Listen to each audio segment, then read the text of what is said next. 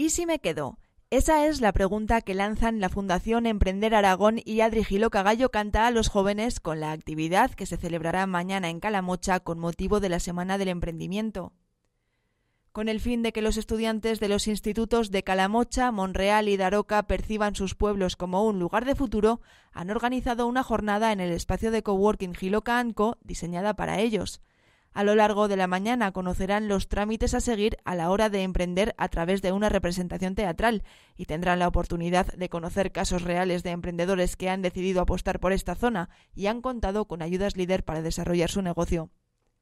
Además, por la tarde, a partir de las seis y media, el encuentro se abrirá a todos los públicos y especialmente a los emprendedores del territorio, con una charla motivadora donde podrán conocer el espacio de Gilocanco y disfrutar de un taller de gominolas muy especial de la mano de la pastelera creativa de Tauste, Dulces Locuras.